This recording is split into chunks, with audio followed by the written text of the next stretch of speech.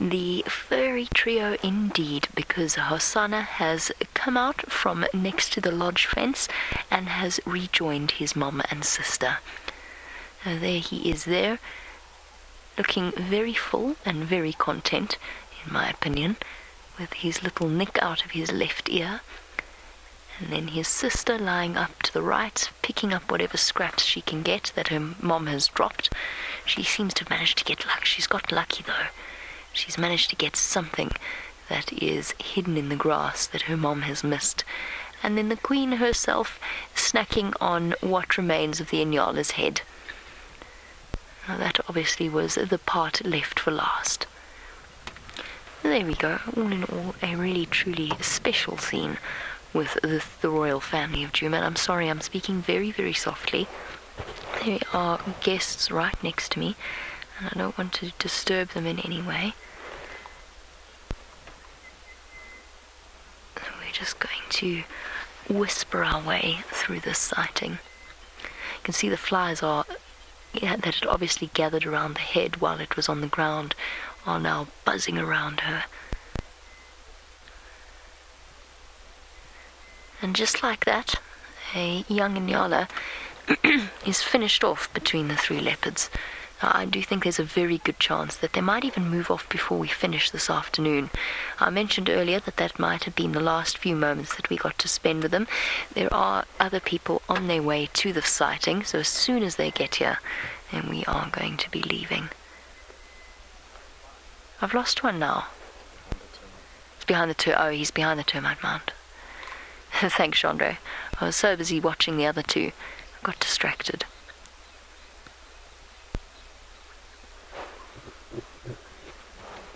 Oh, there he goes. Is he going to go back towards that genet, I wonder? Or have the two cubs lost interest? I'm sure they know it's still there. They probably spent... Hmm, Angry Ellie, somewhere. I just heard an elephant trumpeting furiously. And they will have spent their morning probably terrorizing that poor thing and trying to get at it.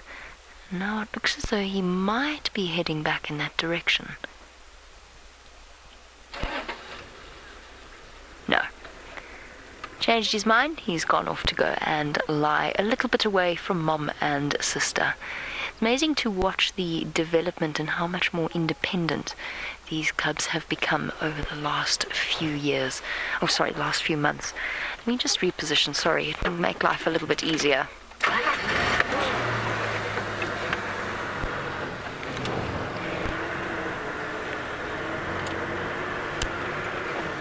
We're just going to reposition. I'm going to move around a little bit just so that I'm not on top of the other vehicle or vice versa so that we can actually talk without worrying too much about disturbing them. Let me see if I can find a position where we can have a view of all three of them. Oh, goodness, well pointed out, Chandra. I'm glad I didn't land on that. That would have been most unfortunate. And we'll settle with here for now. Chandra, by the way, just pointed out that I was about to drive through Karula's scat, which would be nearly as bad as driving through a lion's scat. In fact, it would be really, truly almost as unpleasant. They are pretty much as stinky as lion scat, and they, the scent doesn't stick around for as long, but it comes quite close. There's the little prince. I know that Brent was discussing earlier this morning on the sunrise safari the fact that he has lost his cub like features and he's looking more and more like an adult leopard. And he really truly does, doesn't he? He doesn't look nearly as fluffy. I think the same probably applies to his sister, but I think it's just the shape that Hosana. Yes, I see how alert you are, little one. You're so on the ball. Little Xongile was picked up already on the fact that there was a male bushbuck moving about around the lodge. You can see the interest in her body language. This is one of the reasons why, one of the, the ways that we see the female cubs becoming more and more independent quicker than the males. And that level of interest that she's showing. She's not nearly big enough to hunt a male bushbuck just yet, but she's thought about it. she really looked like her. She looked like her sister there, her older sister. She looked like Tani.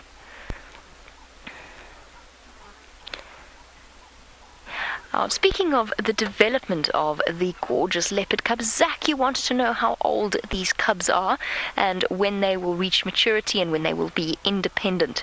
Zach, they are nine and a half months old. They were born on the 2nd of February, which is probably one of the most specific leopard birth dates that we have ever had, just in terms of the fact that Brent managed to see them when they were just a few hours old.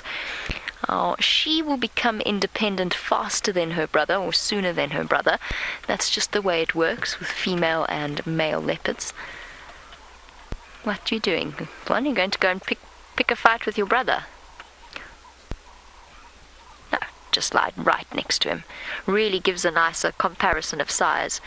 And sorry, Zachary, I wasn't finished quite finished with your question. In terms of age, Xongile will be around 18 or so months, or maybe just a little bit older. And Hosana will probably be around two years old when he leaves his mom, but he'll stick around his natal range for a quite a long period of time. So there'll be a considerable difference between the development of these two gorgeous leopard cubs. Nice, we don't often get to see them lying together like this.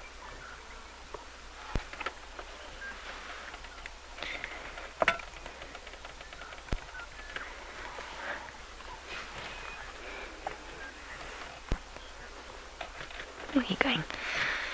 Uh, Michael, you want to know when the time comes, how will Xongile know that it's time to leave uh, Karula, and how will she know which portion of her territory to take? It's a difficult one because it doesn't necessarily work that that the female sort of gives up a portion of her territory. What essentially starts to happen is mother and daughter start to come into conflict more and more frequently, and it's it's a sort of organic way of it has an organic way of developing. So Xongile will start spending more and more time in one part of the area that she's grown up in, and expand and sort of push the boundaries of her territory out from there, and slowly but surely take over a portion of her mother's territory. And it's it's not it's sometimes it can actually almost be not aggressive in that they physically fight, but they can hiss and snarl at each other a little bit. Um, how will she know that it's time? It happens differently with each individual leopard, and it's when they feel ready. Almost in a way like human beings. It depends upon the individual. And what will happen over the course of the next few months is that Xongile will become more and more independent. She'll move away from her mom more frequently. She'll start making kills of her own. She will she'll still remain affectionate with her mother and her brother, but she'll just spend more and more time away from them, as will Hosana actually. They just have to grow in they just grow in leaps and bounds. But as to how she knows, well, that's a secret that only Xongile will be able to find out when she's ready.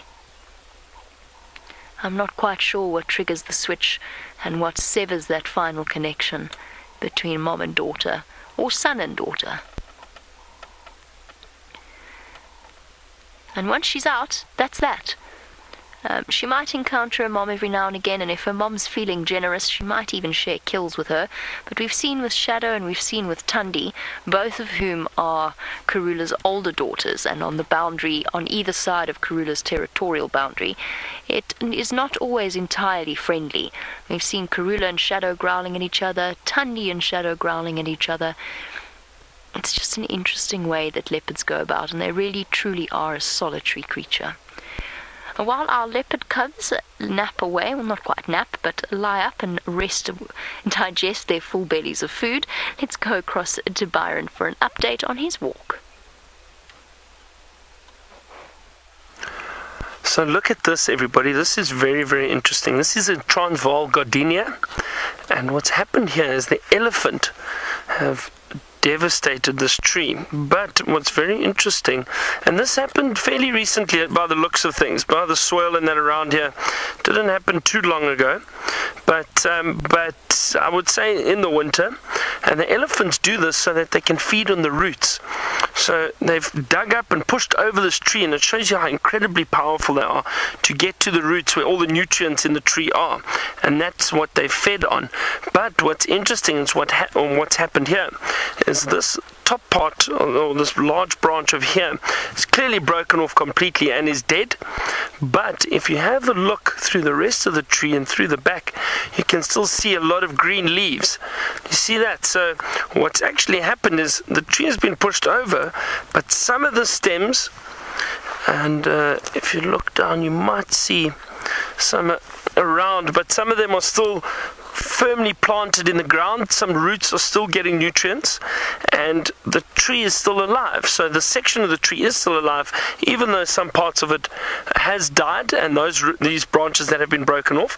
But there is still parts of it that are still alive. Now this is wonderful because it does create an entire ecosystem or mini ecosystem for a lot of other animals. It's very thick, so there's probably a lot of insects in that living inside there under this thicket. You might get scrub hares coming and looking for shelter, little antelope species. A lot of animals will come and hide in here. So it's actually wonderful that uh, that something like this, even though it looks devastating that the elephants have done this, but there is still a lot going on within this area and within this little micro ecosystem. So it's very interesting to see. We haven't found too many birds or anything while we've been on our walk. We're still in search of that woodland kingfisher. Nothing yet, um, but the competition's still on. We know they're out there. We just need to try and find them. Let's see what else we can find while we're walking around. There was some impala running about earlier on the clearings. We've been looking for scorpions too, but for some reason we haven't been able to find any. Um, even though the other night uh, we did see one, or was it last night? Yeah, last night saw one in a tree, but um, we've been trying to look under logs and, and little stones, but uh, we haven't been able to find any just yet. Let's see what else we can find here. Some little droppings over here.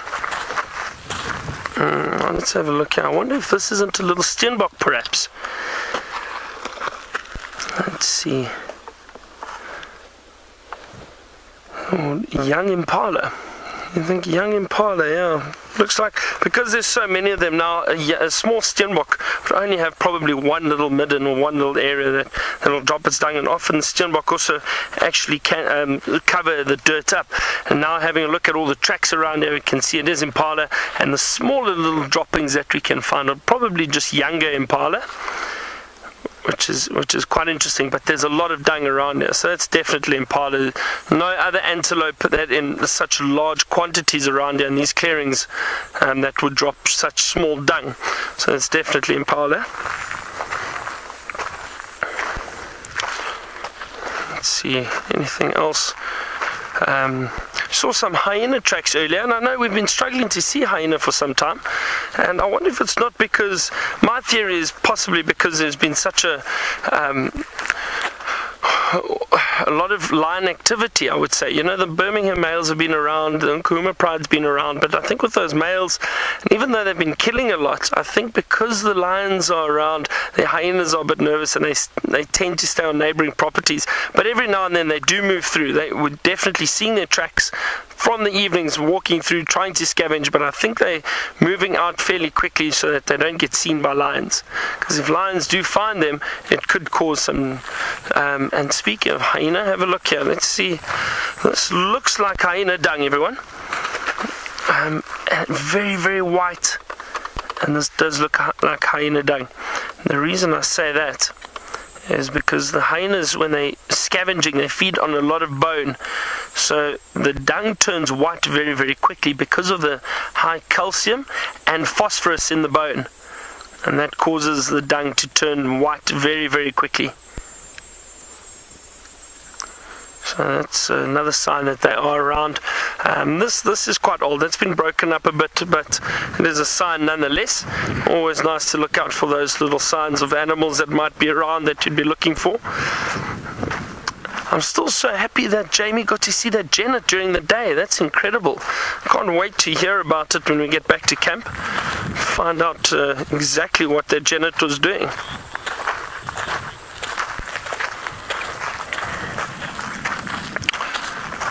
Stanley, you want to know how do termites book a site for a termite mound or for a home?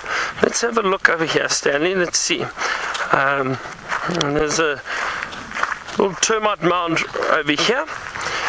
And usually, what they do is the termites so for one thing, okay, uh, what happens in a colony?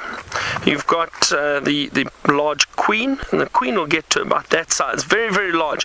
She just lays thousands of eggs daily, and then you have the worker termites, um, that basically keep the termite mound active. So they provide food for the termites, they provide, um, they, they build the whole mound. You also have soldiers which protect the termite mound. When it rains, however, you get these alates. Now, alates are little flying or winged termites. Sorry, someone's crawling on me. we find little winged termites. Now, those termites, as it rains, they leave the colony, and their sole purpose is to go and start a new colony. So, what happens is they'll fly into an area, usually find an area where the soil is probably soft from the rain that is currently falling. And uh, what they then do is they start burrowing down, and then one of those one of those termites will become the queen, and she will start to lay eggs, and the colony will begin. But they do need a lot of moisture. That is very, very important.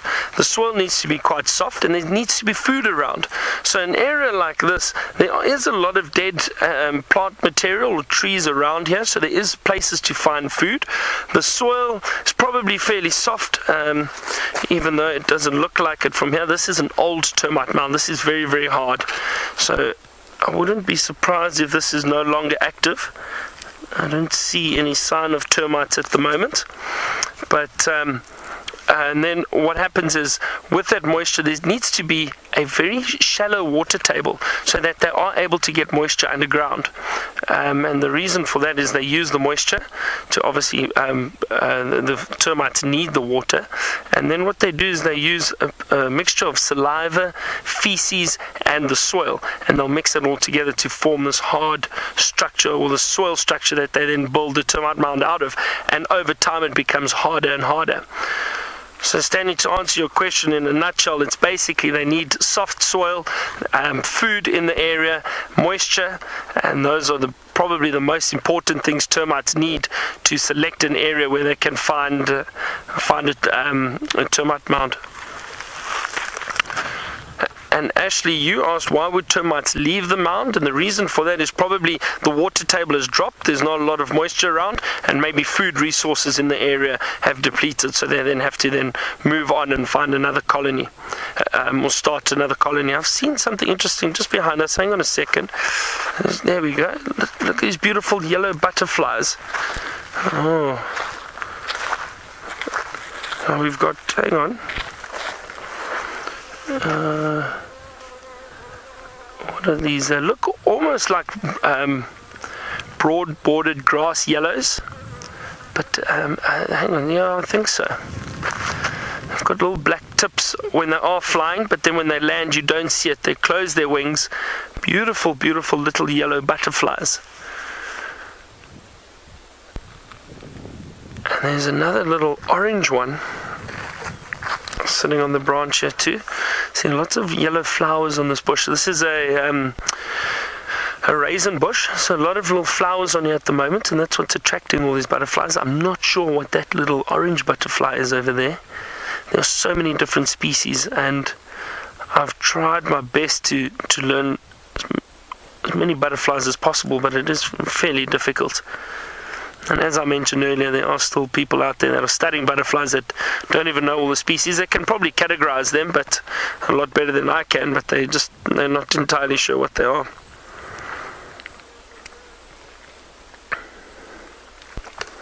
That's fascinating.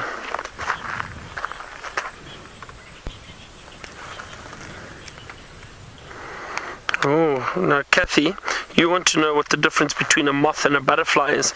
Now, one of the main differences is the moths are generally nocturnal. Um, you do get day moths, but generally nocturnal, and butterflies are a lot more colorful than moths. Um, I'm trying to think. Um, I don't, I don't believe the, the moths pollinate flowers like the butterflies do, but I could be wrong.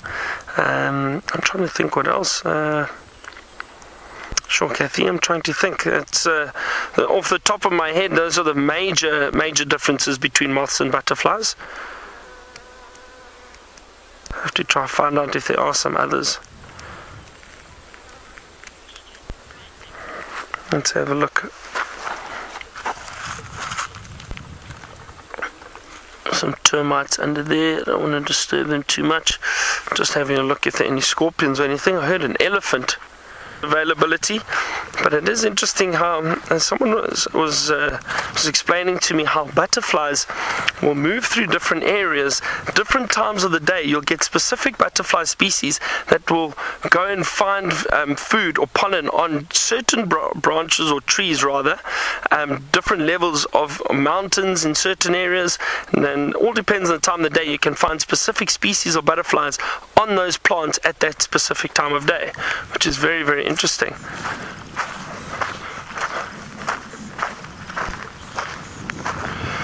Paul, you want to know if butterflies have any predators? Let's see here. What have we got here? Oh, oh, this little guy. Now I know these little guys very, very well. This is called a velvet ant. Well spotted, Herbert. Let's see if I can get him out here a little bit. Just come so low. Now, this little velvet ant is actually part of the wasp family. Look at that. Wonderful, isn't it? Now, it doesn't fly, but, but, but, here it is here. This little guy will give you a very, very nasty sting. I'm bringing him around this side um, of him, this way. There we go. This side, yeah. There we go. Now, look at these beautiful colors on this little velvet ant. Stop there for us. They've got a very, very nasty sting. I've been stung by one of these. They can actually sting you right through your clothes. And there it goes, a little velvet ant. And as I said, it is part of the of the um, wasp family. So that's really, really nice. Have a look here. Wow. What has happened here? I wonder if this little lilac-breasted roller was attacked by something, perhaps. Look at these beautiful feathers, everyone. Look at that. Look at the color. Now, I, th- I, know, I'm sure this uh, it's actually meant to be good luck in some cultures. If you find some lilac-breasted roller feathers, and if you keep them, put them in your hat. So I'll see if there's a really nice one that I might keep. Um, so there's lots going on around this area in the clearing. Anyway, while I collect um, lilac-breasted roller feathers, let's head back to Brent and get an update from him.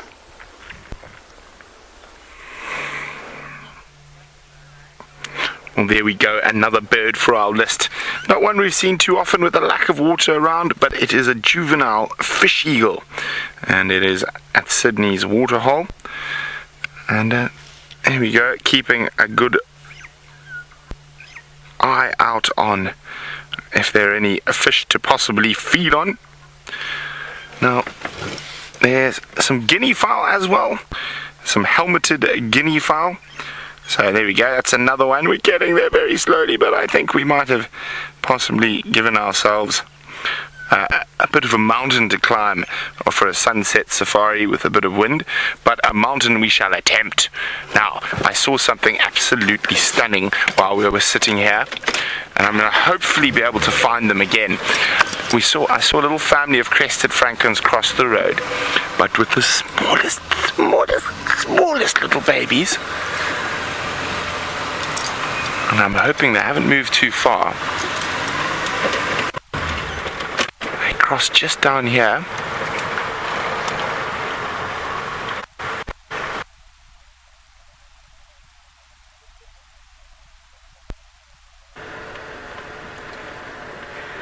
Oopsie daisy, and sorry everybody, it seems as though Brent has disappeared off your screen. It's the joys of a live safari. You just never know uh, what to expect around the next corner. Unfortunately, sometimes the surprise is a signal dip which was unexpected in Brent's case.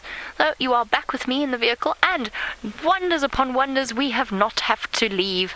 Our patience has outmatched the other vehicles, and we find ourselves with the leopards once again. I was just repositioning to bring you a view of Xongile and Hosana, at which point they got up and moved. A point that has not gone unnoticed by the local area's impala herd that are currently watching with great trepidation and alarm calling. I hate to tell you this, impala, but you're a little bit behind the times. Let's just listen and see them bark.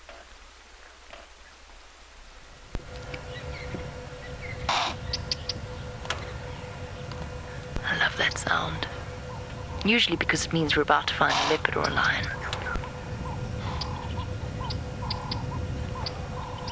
One last time. Oh, I keep talking over her. My timing's terrible.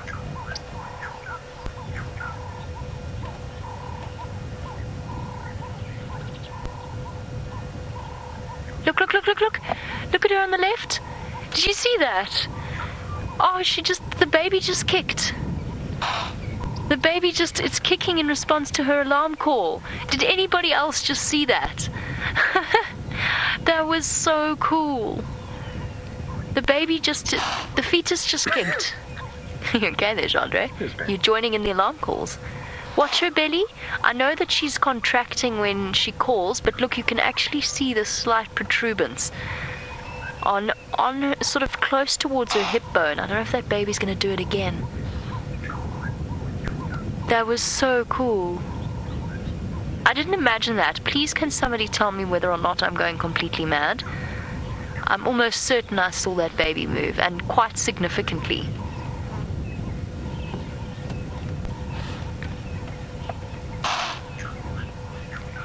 Obviously, she's contracting, so that's not what I mean. I mean, the muscles of her diaphragm are contracting to create that barking sound. So that's not what I mean, and not what I meant. Promise you, I saw an angle protrusion come sort of out of her belly for a moment there. That was so cool. Thank you. Yes, I'm not going crazy. Thank you for all of you sending through that I'm not completely loopy and that you did actually see the baby move. How cool is that? How absolutely awesome is that? They're going to be out very soon. Let's just watch them for a little bit longer and then we'll go back to the leopards. I'm really chuffed. I've been speaking about the possibility of seeing the fetuses move in these very pregnant impala, and I haven't had a chance to get it on camera this season. So the fact that we manage now is awesome. Hey, big girl, you're going to be having that baby any day now. It's practicing running already, huh? It's going to do well. Shame. She's making sure that everybody knows that the leopards are there out of uh, a deep concern. Oh, she's being joined by all of the rest of the impala on quarantine. A chorus of barks, and now I can hear them. I just can't see them. There's dwarf mongoose alarm calling as well.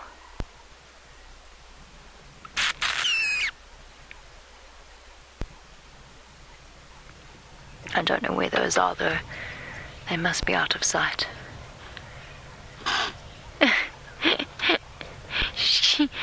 yes, girl, there are definitely leopards there. Amazing that instinct to alert everybody in the area to the fact that there's a predator. It is quite selfless in a way, because she knows that the leopards are there.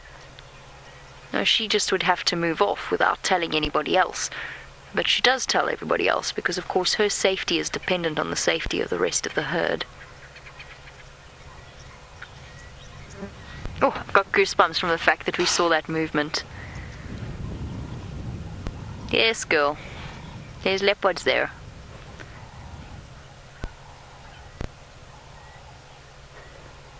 Okay. Speaking of leopards, I think let's go back across and see what they're up to. I think they've now that it's got a little bit cooler, um, they might be full of the joys of spring. Now, while we do trundle away towards the leopards, uh, let's head over to Byron so that he can uh, tell you what his plans are for the rest of this afternoon. Alright, so we've been walking around seeing if we can find anything else. I found some old elephant dung. Just having a look to see if I can't find some interesting insects around here. Found a few little dung beetles. just hiding in there, everyone. Can you see that? And um, we're actually not too far from where Jamie is at the moment. We can hear the Impala alarm calling. I wonder if they don't perhaps see Karula. Um, is possibly what's happening, not too far from us. Um, as I said, you know, at the moment the sound's traveling quite a lot. We heard those elephants this morning with the lions, and they were very far from us, at least a probably at least two kilometers away. So it's amazing how the sound is still carrying through the bush. Usually in winter, it's easier to hear things further and further away. As the summer comes, uh, the bush thickens up a little bit, the air is a bit thicker, the sound doesn't travel as far. But um, Anyway, we've had a wonderful, wonderful afternoon. It's great to see the buffalo and the elephant on foot. I'm glad you got to see some of that with us, especially those ellies at the end. And um, and it's been nice looking for these little insects in that and spending time out here. It's been a lovely, lovely afternoon. I'm going to say goodbye. So from myself and VM on camera, thank you very much, VM, and of course Herbert. It's been a wonderful afternoon with you. We'll see you tomorrow morning again. Let's head back to Brent and get an update from him. Goodbye, everyone we have the exquisite, tiny blue wax bill as another bird for our list. Now they're getting ready to finish foraging and now head off into the trees to roost. I've just heard some impala alarming, so we're going to just quickly, quickly shoot up into that tree. There we go. And there's the fine figure cut of a steppe eagle. You see the long gait that extends to the end of the eye. I wonder if that's Shadow, or would Tingana have come back already? It sounds like there's an Impala alarm calling around Sandy Patch, uh, or Aubrey's Road Junction, or could it be? Now, we haven't given up on the bird. I could never forgive myself if I didn't follow up on alarm calls.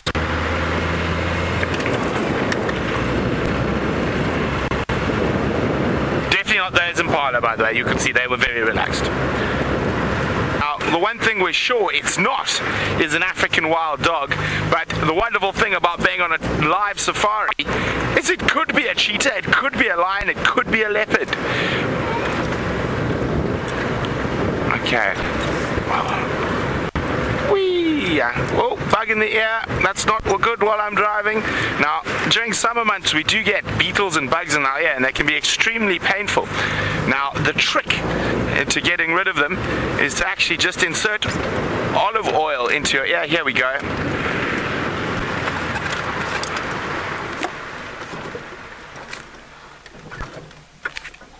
I just need to listen.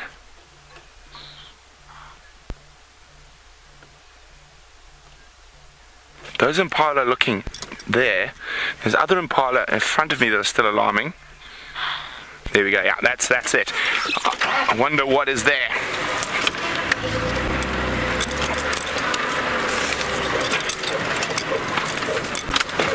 Hold on.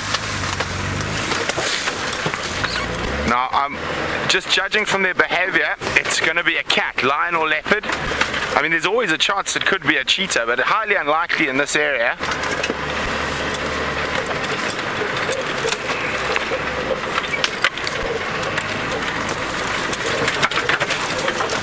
Leopard. Big male leopard, I wonder who it is. Oh! Oh, bird, corsair, gone. Leopard, monster. Is that Tingana? Oh, is that it? I'm not sure which leopard it is yet. There it is, big male leopard.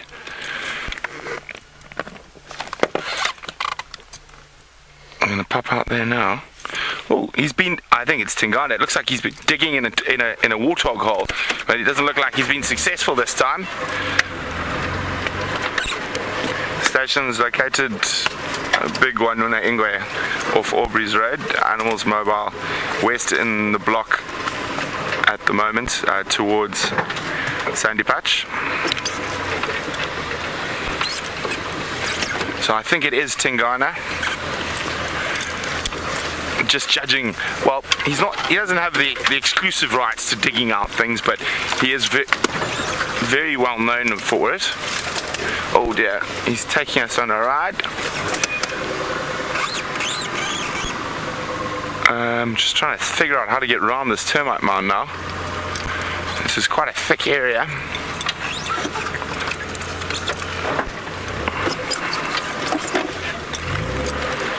Okay, Eggsy, you ready?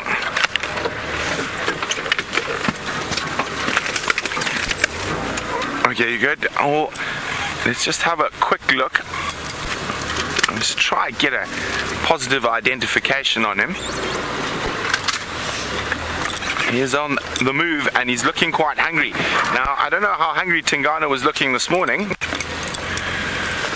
And it's unusual for him to head to that side and then come back. There we go. Okay, we're going to give you one last view of him as he, oh, he's, stopped there. And then we can go uh, back across to Jamie while I try get into a better position. But how exciting. I'm pretty sure it's Tingana, but I'll find out in a second. But let's go check what's happening with Karula and Jamie. All in all, our Saturday Catterday was less successful than our Sunday Catterday. Hello, girl. And now?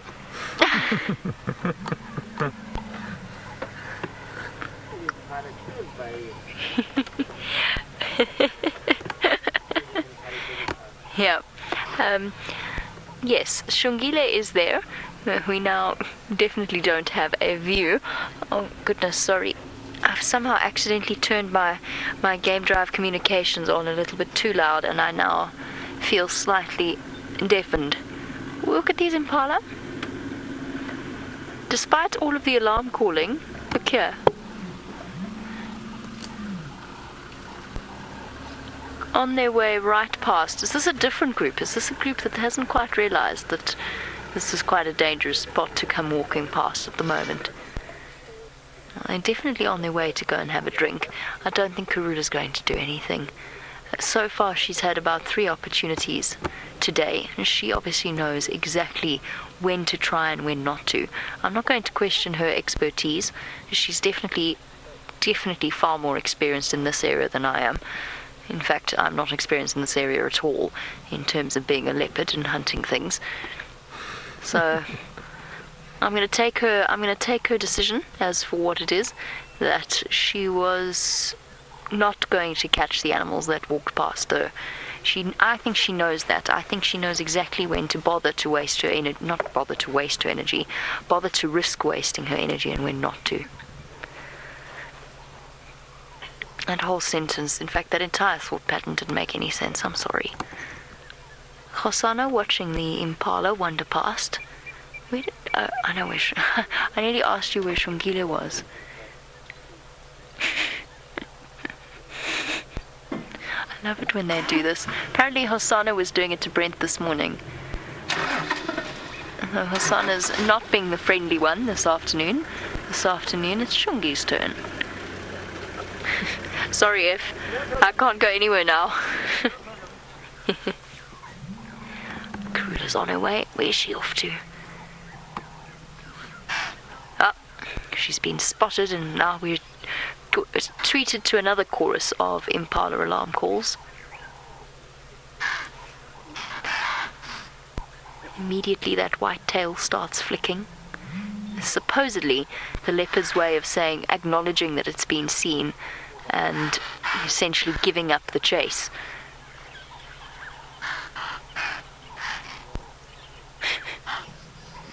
This this curd is a little bit slower on the uptake than the other one was.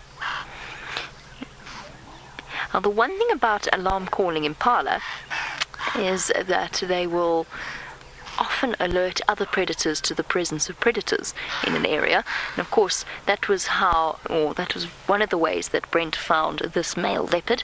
Let's go and see if we can find out exactly who it is.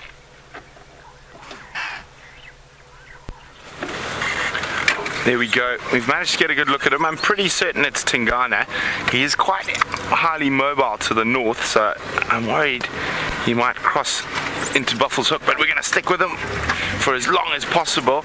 And he's been digging in termite mounds. There we go. He's going to stop and we can have a look.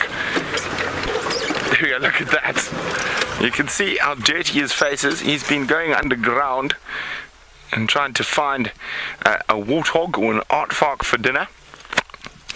So, and being very Tingana in his movements, moving from termite mound to termite mound, checking for any that are active with warthogs, which is one of his favorite foods.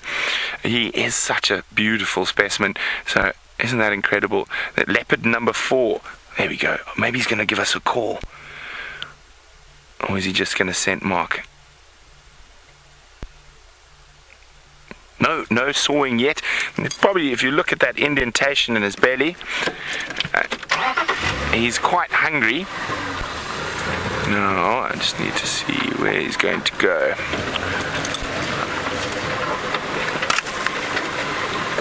Also, makes quite a lot of sense that Tingana would be scent marking in this area.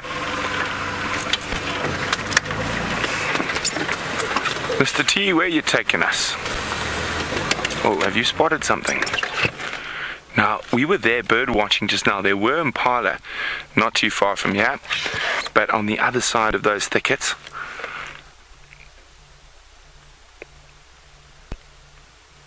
Oh, here's a magnificent specimen of a leopard. Okay, off we continue. He's changed direction slightly again. Oh, that's a big stump. Hoppa!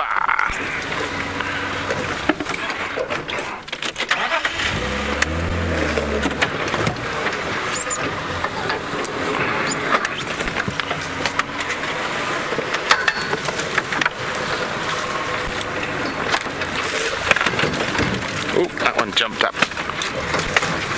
Okay. It's getting thick again.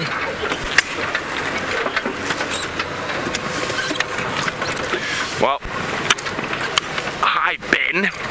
Now Ben's wondering how le- how do these leopards get their names? Well, Tingana actually means the shy one. Um, he's a bit of an exception to the rule how leopards normally get their names in the Sabi Sands. Uh, it depends where. Uh, so generally, different lodges, different areas might have slightly different protocol.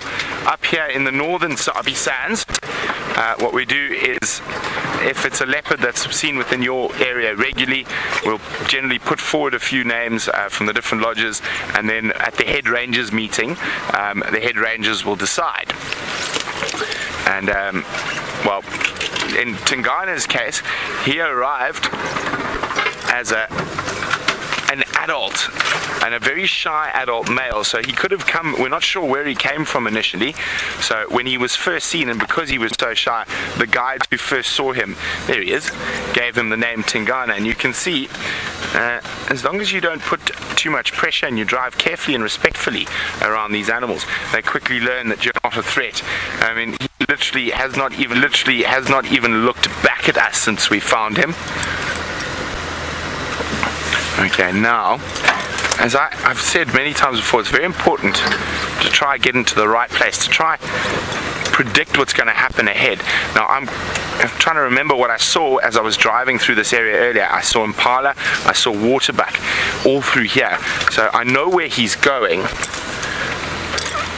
But it's always a risk now because we still are quite far away from where I want to be and he could obviously see something and change his mind. So we've got to sort of weigh up the gamble of whether it's worth trying to shoot up ahead of him. Uh, to where we know the potential prey species are, um, or to stick with him while he takes us on a oopsie, on an adventure. There we go. Oh, watch out there, eggs. Got it.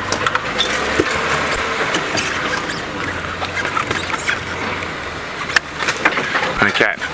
Now I'm just what I'm trying to do also is just double check up ahead always to try see because I'm higher if I can see that there's any potential prey species, which will then prompt me to possibly move a little bit differently.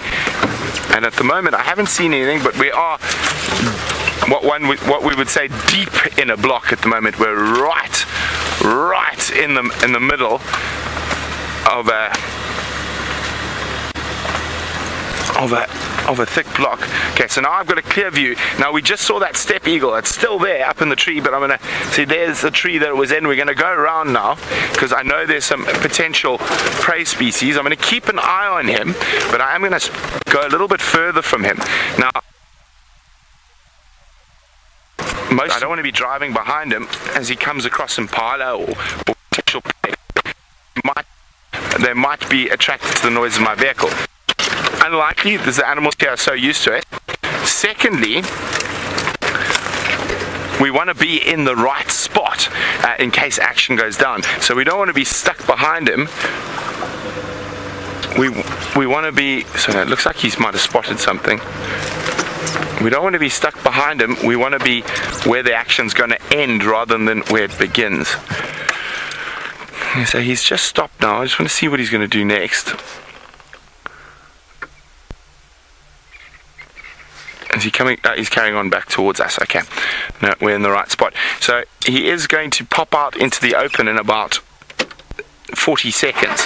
And I want to be in that open before he is, is my plan.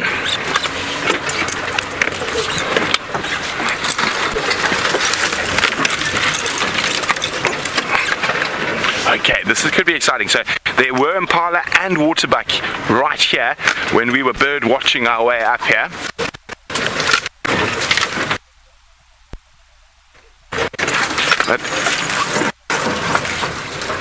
Okay, you got it. Okay, so we got we're through. And can you still see him? There he is. So now we're right using, which a leopard always does. I'm going to get eggs, you know.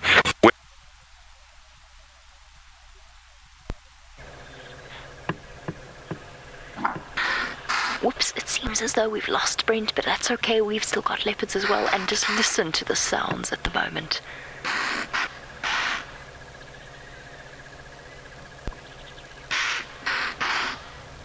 was hoping the bushbuck was going to keep calling as well It's been such an amazing evening spent with the royal family. Oh, there it was. That deep booming bark.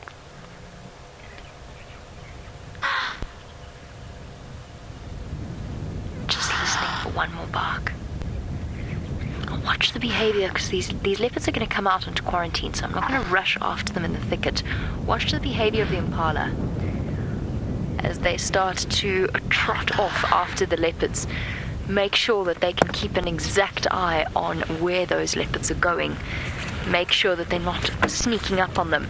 Because, of course, it's not the leopard you see that gets you. If you're an impala out here, it's the one you don't. So once they have spotted a leopard, they're reluctant to let it get out of their eyes, eyesight, eyeline. I know what's wrong with me this afternoon. Okay. Deep booming bark again. Bushbuck in our bushbuck in Inger's garden, I think or just next to Inger's garden. Okay, let's go and catch up with these leopards. Might have a beautiful view next to quarantine, uh, next to on quarantine.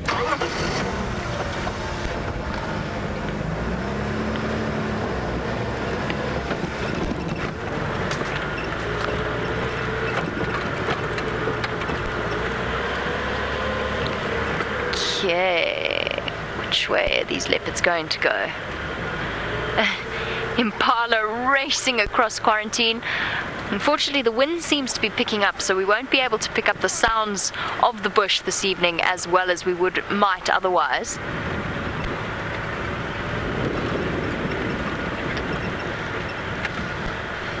They're going to walk right next to my car. That's so cool. How cool is that? That's my car, and that is Karula walking in front of it.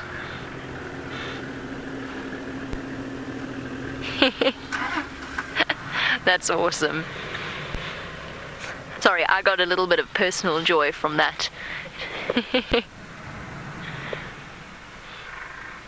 Marching along the fence line of where we live. So cool. Absolutely awesome.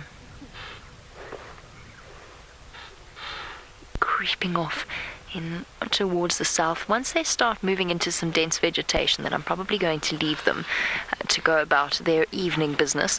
And just because it is starting to get dark, she's got the two cubs on the move. We'll go back to that genet and see if it can't see it coming down. I'm going to go a little bit further ahead towards these, just past these impala. Cheers. Thanks, F. Let's get see if we can get another shot of the impala and the leopards.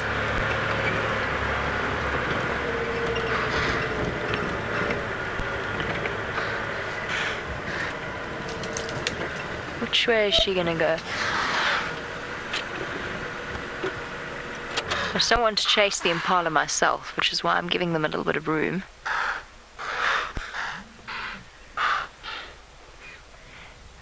The impala chorus.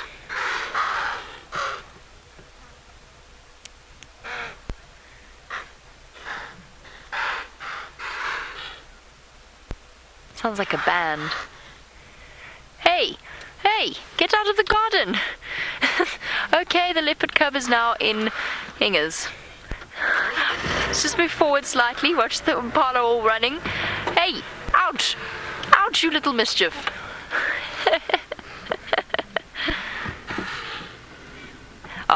It was on the outside of the fence. I thought it had, unless that's cub number, I'm sure which. Look at all of these impala. Sorry, there's so much going on. They're streaming across to make sure that those leopards are not going to come back and circle them. See, they're running at the leopards. How cool is that? Sorry, uh, if we don't start up, we're going to lose these lose these leopards.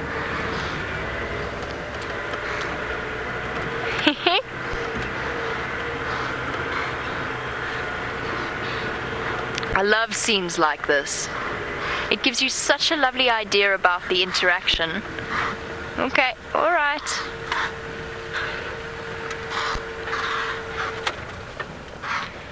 Panic! Panic, leopard, panic! Here we go. Then one brave ram and one brave female. Gives you a really nice idea now the, now the ram's going forward, of an interaction between predator and prey without it having to be a hunt, essentially. Here's some palalas. You're right, there's leopards. Wonder how many times Karula walks past our gate. Many, I imagine.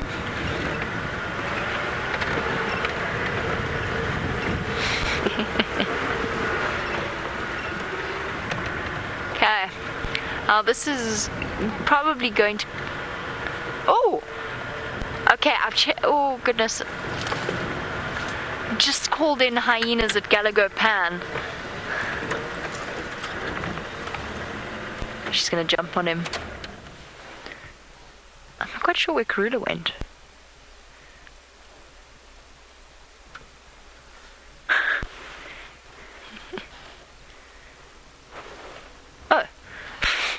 Hi, girl. Two little mischiefs.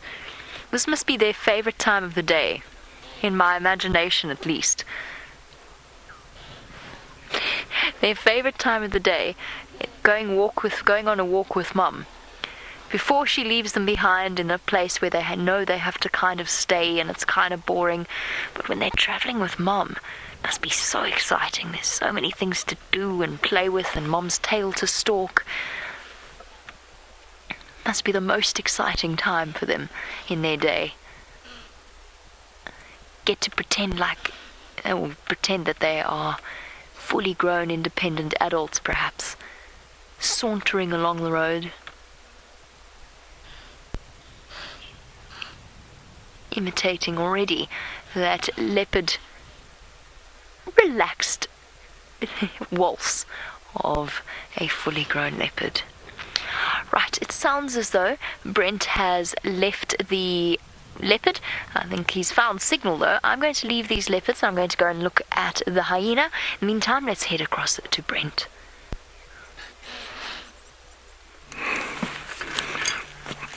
Well, and when I thought the birding was over, uh, we've got a special gift at the end of the the birding light, and it's a roosting ground hornbill. Oh, and it's a taking off ground hornbill. Isn't that absolutely gorgeous? Massive birds, one of the rarest birds around. It just seems like a changed roost, or the rarest hornbill species around. Oh, here we go. So there's two there now. Just moved to a different tree. And there they are silhouetted against the fading light. And just Can you zoom so I can try sex them quickly there, please, eggs? That's a male. You can see that prominent casque. Looks actually both of them are males. Yeah, both of them are males. Now that's not uncommon. Uh, quite often there will be it'll be a father and son and they'll both be looking out for mom who's probably stuck in a nest at the moment. And uh, they're very long lived birds live for about 40 years. Oh you got an itch.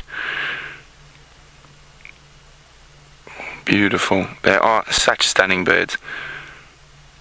One of the really important birds, and if you look at an ecosystem as a whole, they are what you call an indicator species.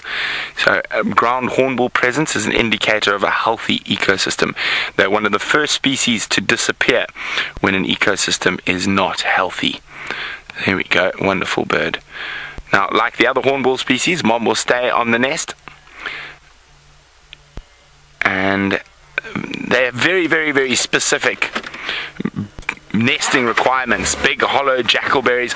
So that's another problem. And they're also very finicky nesters. If they get if they get disturbed, uh, a mother might not nest for two or three years.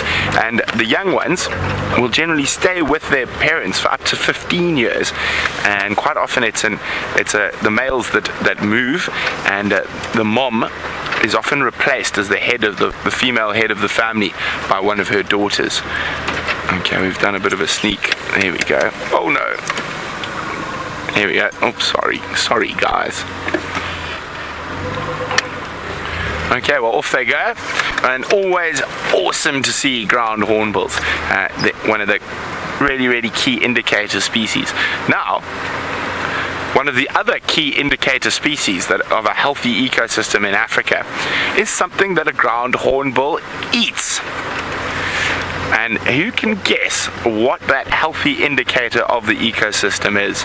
And is often eaten by ground hornbills. Uh, let me know if you know what that species I'm thinking about is. Hashtag Safari Live or questions at wildearth.tv.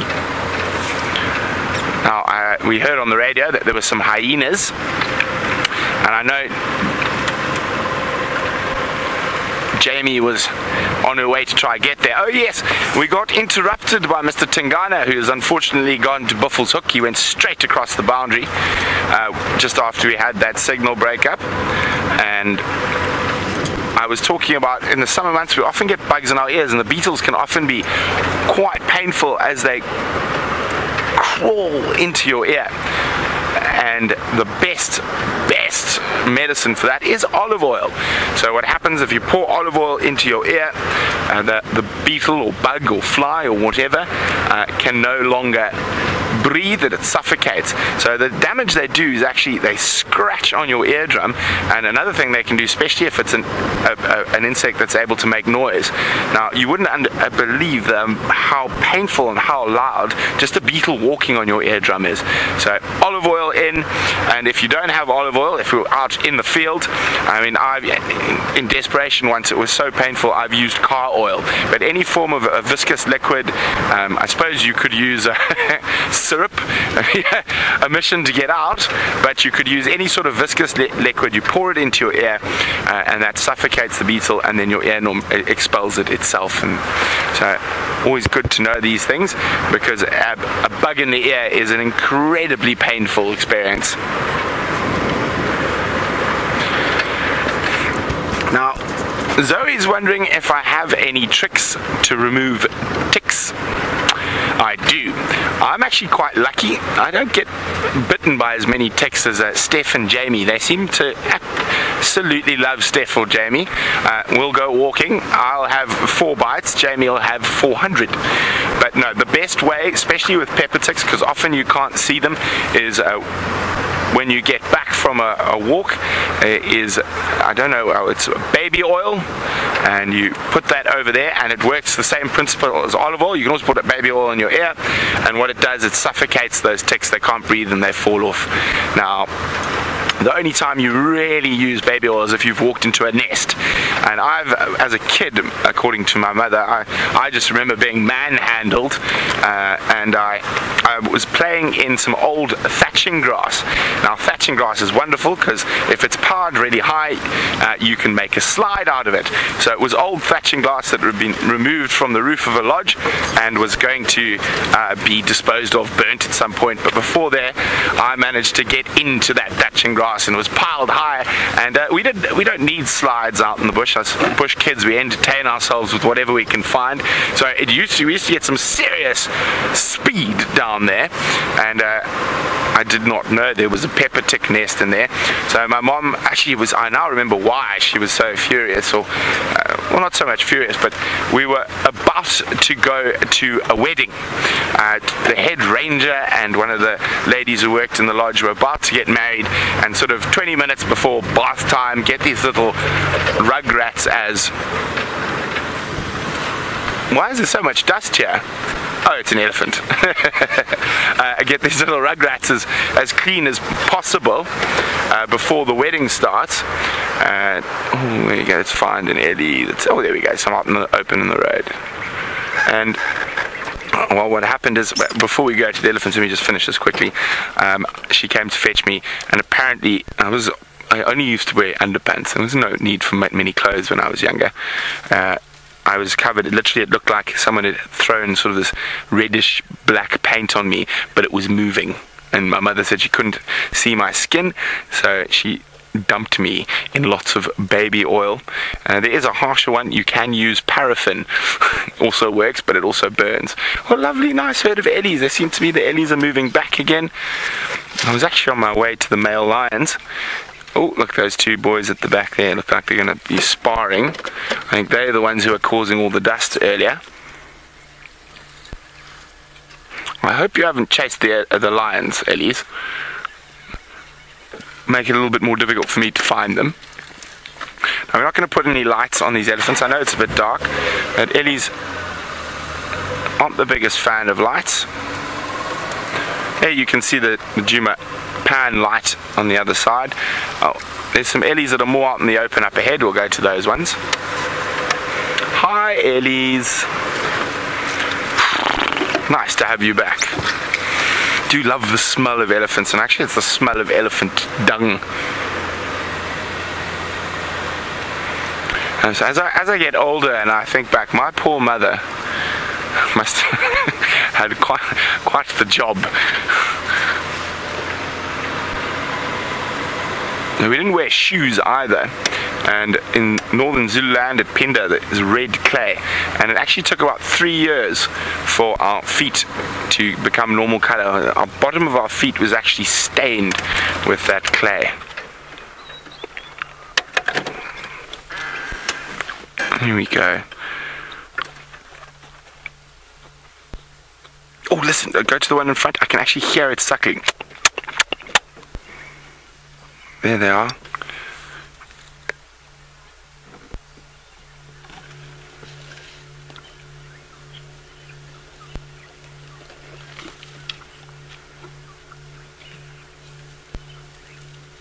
Here we go, look at that. Hello, little one. Now, I'm trying to see if this is the same herd we saw earlier, but I can't see. I think it is. I think that's the same baby we had on the sunrise safari eggs.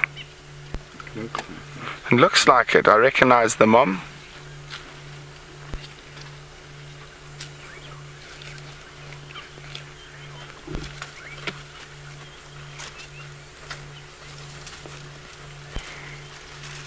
There's that lots of little babies in this group.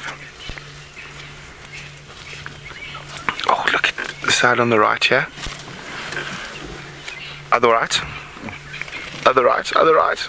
Quickly, look at him. he's scratching. He's scratching at the tree. Oh, he's so cute. Little one, little boys. Sticking close to mom. I'm just going to wait for the Ellies to... Don't push that onto me, you young hooligan.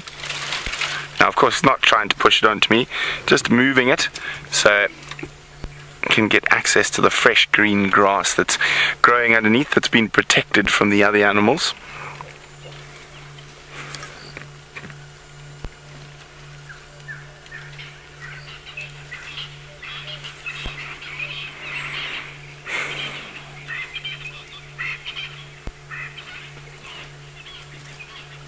Oh, look at them peeking over the termite mound.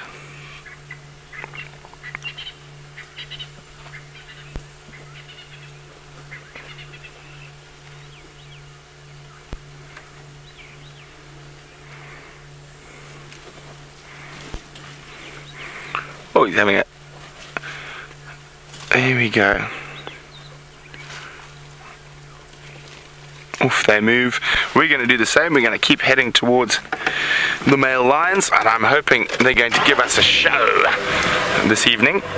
Now, my plan was always to come to the male lions. I was hoping for a bit of roaring uh, this evening, but I wanted to get some good birding in there. Unfortunately, I think we fell well short of our target.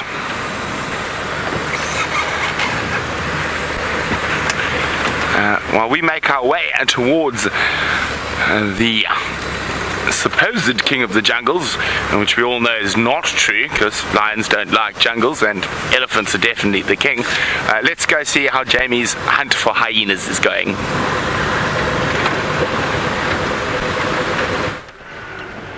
That's not hyenas.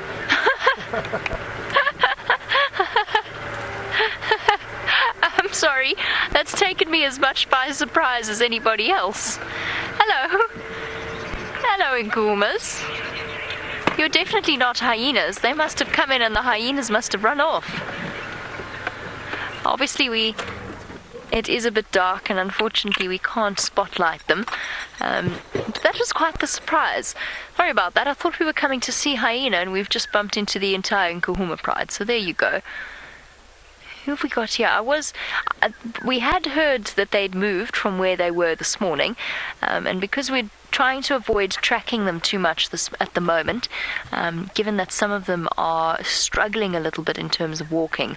So we haven't been tracking them because they do feel a bit more vulnerable at this time. So we left them, but there we go. We've just bumped into them. Uh, as far as I can tell, it is just the Nkuhuma ladies. No sign of any male lions. We've all six cubs from this morning are here. One, two, three, four. Wait, five, five, six, seven. No, that's not possible. That's definitely not possible because two of them have definitely gone um, to Onderstepoort. One, two, three, four, five, six. Now all six cubs are here. That's wonderful. And five females. Awesome. Well, what a beautiful surprise. It wasn't the hyenas we were going for, but it was the Nkuhuma lions. Just goes to show you never know what to expect. Let's go look for the hyenas because it's a little bit dark for us to be sitting with the Nkuhumas um, without being able to spotlight them. So we're going to leave the lions for now and we will carry on the search for those missing hyenas. They must have, if the lions came in from this way, which they must have done, they must have chased those hyenas off in this direction. Ha! Surprise! Okay. If we don't have any luck along here, then we'll go straight back to where that genet was and see if we don't have any luck there. For the last few minutes of the... Oh! Sorry, sorry. Bump. For the last few minutes of the sunset safari.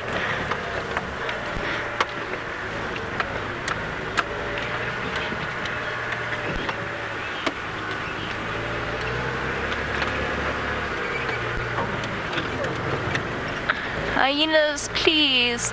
Feels like it's been forever. We were trying to think about it this morning. When was the last time we saw a hyena? And it's been so long that I actually couldn't even say for certain exactly when it was that I last saw a hyena, at least. I have a suspicion it was on Cheetah Plains, but I honestly don't remember.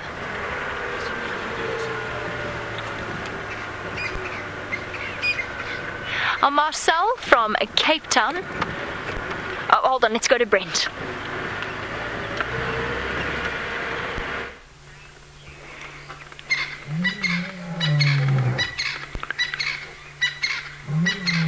So, can hear one male's roaring. I'm hoping he's going to start joining him now.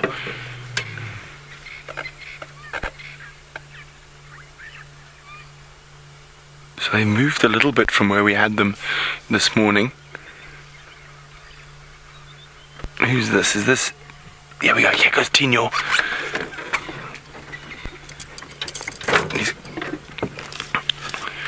So Mfumo started off the roaring. Was this Mfumo? I can't. No, it is Tinyo. Tinyo, why would you roaring with your with with your coalition mate? It's very rude. I definitely think they are going to roar again, and in the next little while. They've moved probably 50 or 60 meters, probably because of the elephants. Wasn't the most enthused lion roar I've ever heard from Mfumo. I can't see Mfumo at the moment. Come on, Tinyo. Give us a big one. Oh. He gave us a big yaw.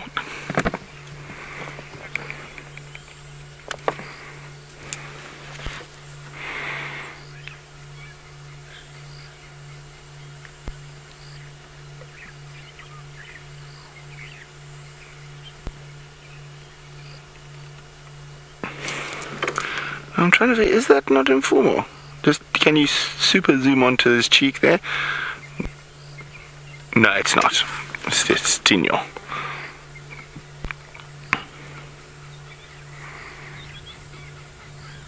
Oh, look at those eyes.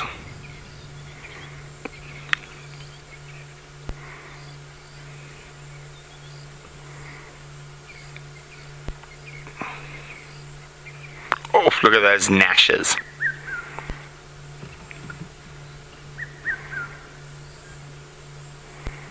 Look how he's lifting his nose to the air, sniffing, picking up all the information the wind's bringing with him.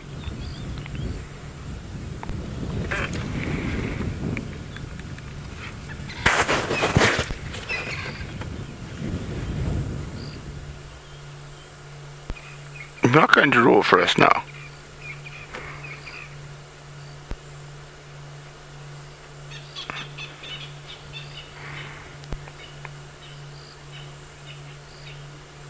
I wonder if they're going to get up, start moving. They might move towards the Nkuhumas. They might not. They might go off on patrol.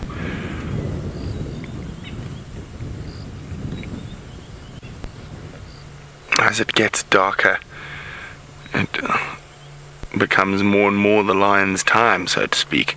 Oh, itchy nose.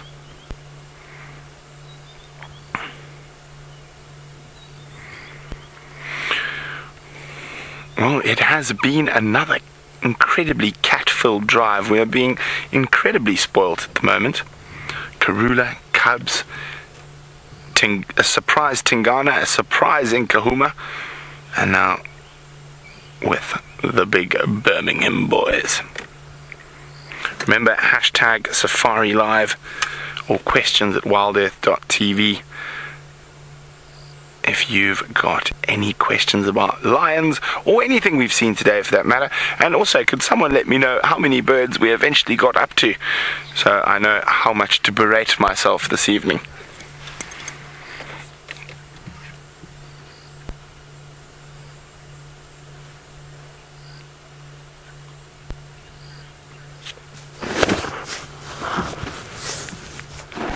Now, we've got a I was talking about indicator species uh, in terms of healthy ecosystems and in Africa.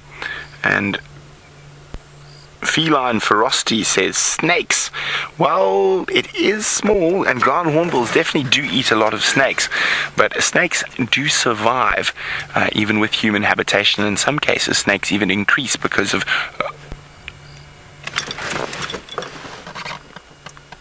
I was an elephant. in terms of uh, vermin, and you get lots of rats and things around human habitation. Therefore, in quite a lot of cases, snakes can increase. So it's not snakes. But you're on the right track. It's not a reptile, I'll give you that as a clue. Uh, let's go see if we can spot Mfumo.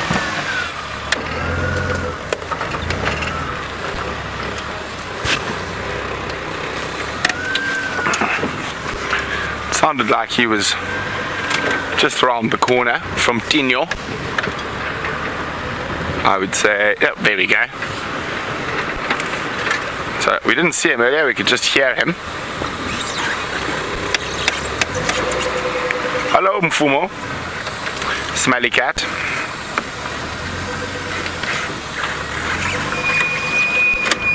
Now, hopefully, you're going to be more more prone to roaring than your coalition mate.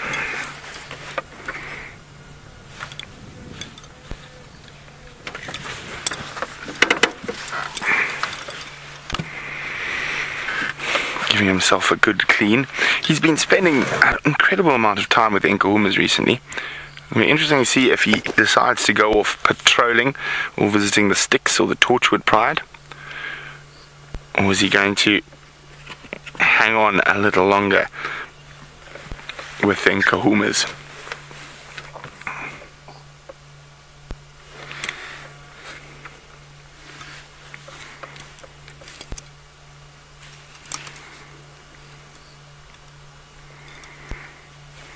Oh, grooming is obviously quite an important thing for lions. And all cats for that.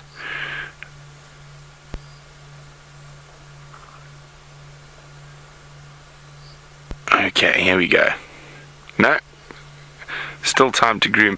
Now, if we look sort of on what would be the back of his knee, so to speak, you can see there, look at all those ticks. It's sort of a little infestation of ticks there. It's in one of those hard to reach spots.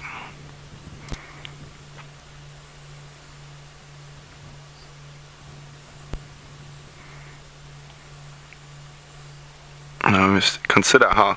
There we go. He's gonna. Oh, he's gonna lick, try and lick some of those ticks off there. We'll see them falling. Get those terrible creatures. Look, must be so incredibly infuriating. Uh, but I suppose a lion's sort of level of comfort is very different from ours.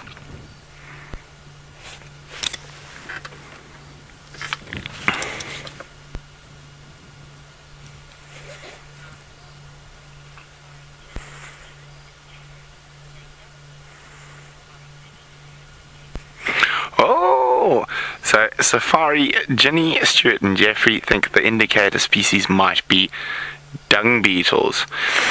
Well, unfortunately, it's not. It's a very good guess, though, because if you think about it, a large commercial cattle or or goat or sheep farms uh, produce a lot of dung, so the dung beetles are still happy.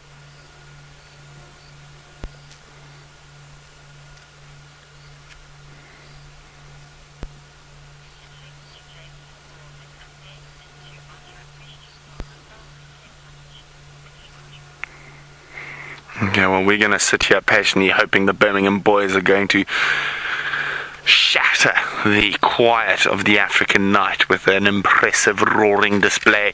So while we wait, let's go see what Jamie's up to.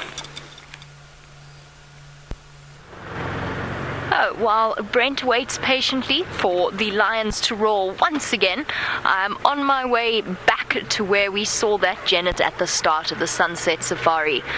I'm really hoping we're not too late. I think the um, the, the rush to the hyenas that turned out to be lions may have set us back a little bit in terms of having our chance to see it come down from the tree. But I'm going to try, nevertheless, I'm going to give it a go. Oh, speaking of hyenas, of course, we didn't see any tonight. We saw lions instead. Marcel, sorry, I got interrupted while I was answering your questions about why is it that we hardly ever see hyena here. We used to see them all the time, Marcel. We used to spend hours and hours of our day at the hyena dens um, around the various areas of Djuma. Sorry, I've just got to remember where to go in the dark now. Maybe this way. And we spent a considerable period of time with them. We had quite a large clan. It was easily 20 odd hyena. And then one day they upped and left and went outside of our traverse area, so in other words, outside of where it is we're allowed to go. And they haven't been seen very often since.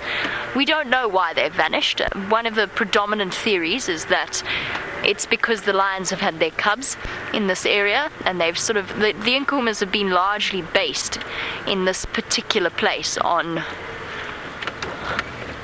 sorry, just concentrating here. They've been basically almost immovable from Djuma. And I think that's probably why, especially with cubs, they would be more protective than they might otherwise be.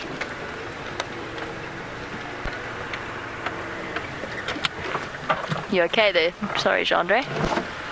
There's a tree there. Sorry, I, I can't see with that light on. At all. Any sign of our little genet? I don't think so. I think we have arrived just that little bit too late. oh, sorry, excuse me. That took me by surprise. No, I don't see it. We would see the eyes shining at us. Sorry, I'm just scanning the area. I think that genet has taken its opportunity and dashed out of the tree that it was in. Was worth a try. Sorry, I'm just checking. Along the marula tree. Nope, no sign of it. I'm going to keep looking. It might be somewhere on the ground. You never know. Meantime, let's go back to Brent and his lions.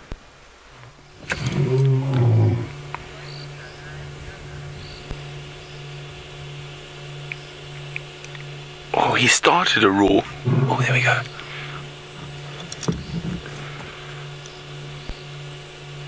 Come on. Stop yawning and give us a proper roar.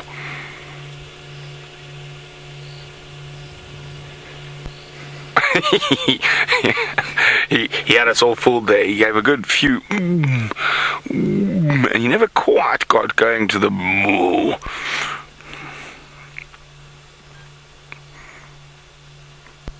Got sidetracked with grooming. Maybe he's a millennial lion.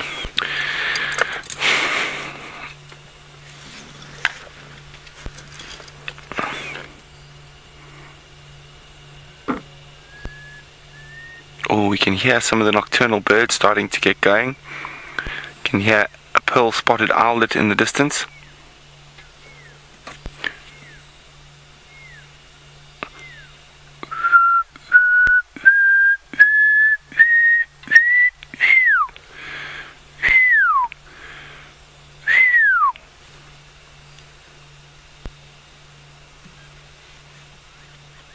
and really faintly in the distance we can hear fiery neck nightjar. Good Lord, deliver us! I don't know who how they make that out of um, the fiery neck nightjar's call. Oh, ears up. Nope, he's going to carry on licking. Oh, come on in, Fumo.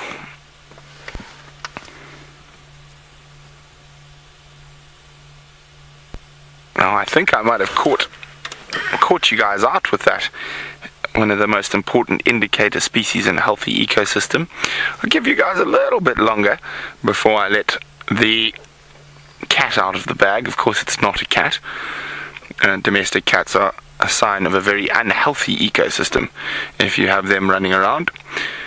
They are responsible for 80% of the avian extinctions in the last 100 years.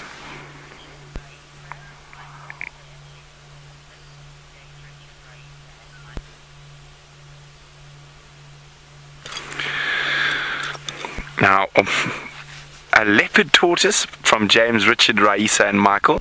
I suppose you could say they're an indicator species, uh, but not as an as an important one.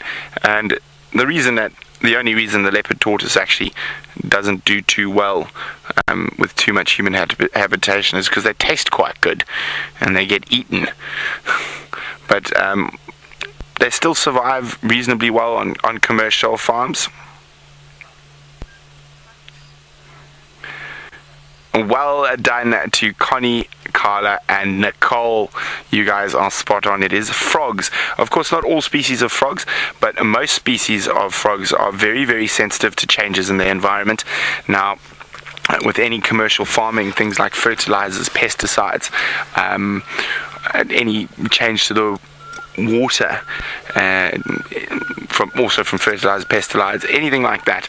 Um, a frog is a very, very, very good indicator because the slightest change, they absorb almost all those terrible things through their skin.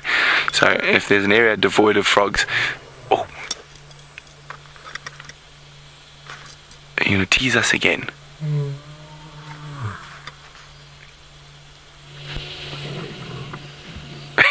He's just teasing us.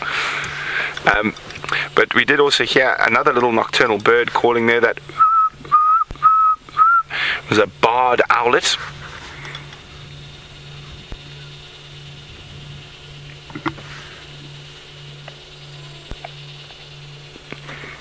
Looks like he's getting stuck into some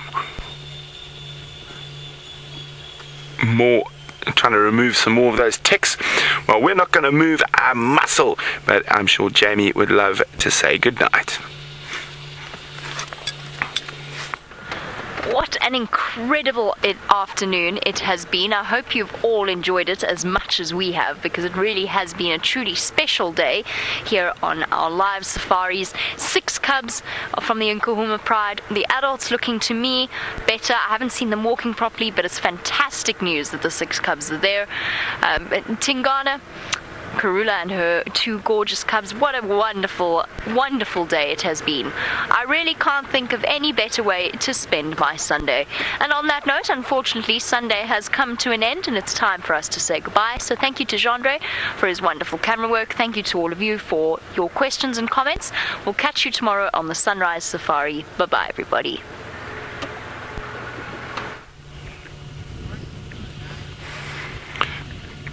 Well, we didn't miss anything, apart from a bit more grooming by Mfumo, the authority. Now, I'm hoping he decides to display his authority with an impressive roar. Oh, he's going back after those ticks him uh, before the end of the safari. And it's amazing how well that wound is healed. And I know lots of you were quite worried about it, but you've got to realize that this is a hard life out here for lions.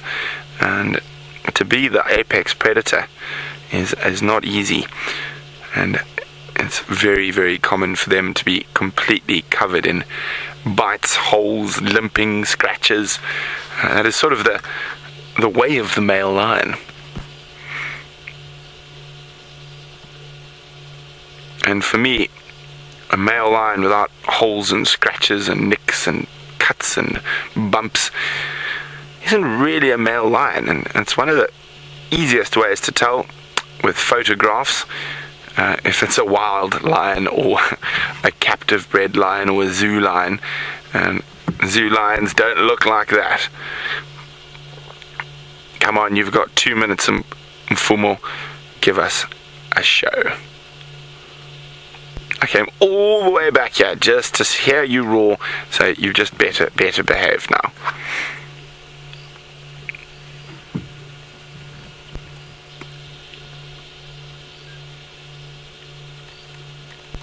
Look at those eyes. Exquisite creature. Now, of course, we are coming towards the end of the safari. I don't think. Do you think we made it to 20 birds? I'm not sure. I think we were close to 20, which was a good effort in the cloudy, windy weather. Uh, we might have to try again on the sunrise safari. 38 is an impressive number that Brian and I put up, and we're going to have to see what we can do. Well, there we go. Thank you very much, Saprea. 22 species. Not bad for an afternoon sunset safari.